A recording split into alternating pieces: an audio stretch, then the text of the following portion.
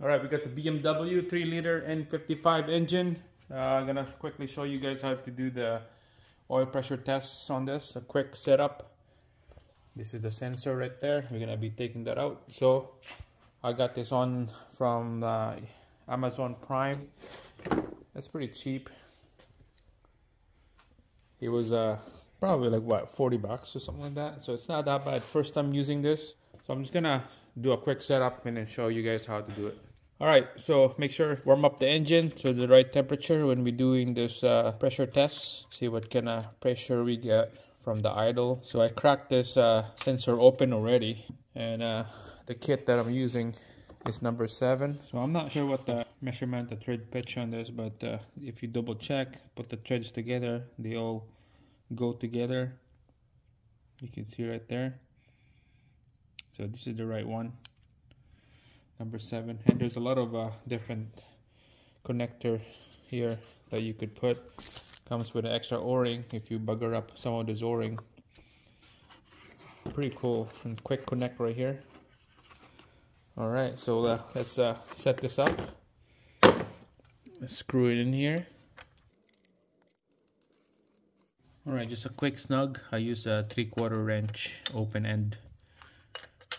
Just gonna snug her up so when you start this engine the engine light's gonna come on because of the connector is not connected.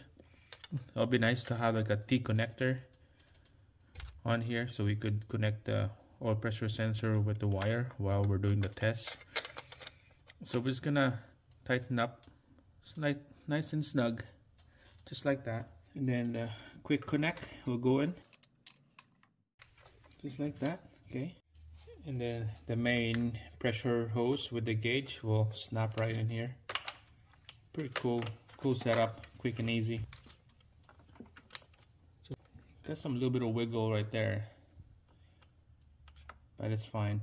When we start the engine just keep an eye on there put a rag underneath and then uh, we'll uh, check out the the gauge here.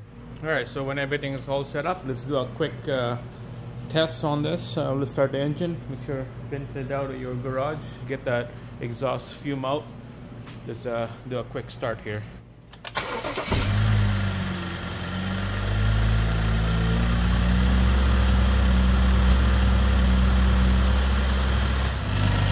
All right, you can see it's about 85 or PSI going back and forth. So that would be like six bar.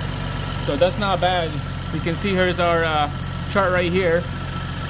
Um, did the conversion. I don't know if that's right but uh, control pressure with the engine operating temperature we got a 58 to 87 psi and that's about right right there. So this been running already. This uh, engine has been running for about 10 minutes. Its uh, temperature on this engine is normal and I hook up my auto scan tool. You can tell 5000 HPA convert that to PSI is like what 70 something PSI here is the temperature of the coolant and engine oil temperature. So we're on the right spec there. There you go. It's nice and idle steady. We're on 50 PSI so we're about right 50 so this is a good healthy engine.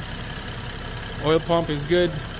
We did uh, replace the intake camshaft on this. So yeah. Not bad. Idle nice and smooth. I went for a quick drive actually yesterday for this and it's not that bad. Pretty good. It idles nice solid picks up really quick when you press the gas. But uh, there's a little problem. Stay tuned on the next video. I got the engine lights on this. Couple codes that came up. Regards about the intake pressure air pressure and uh, throttle body. So stay tuned guys on that. So make sure to subscribe. Thanks for watching. See you guys again on the next one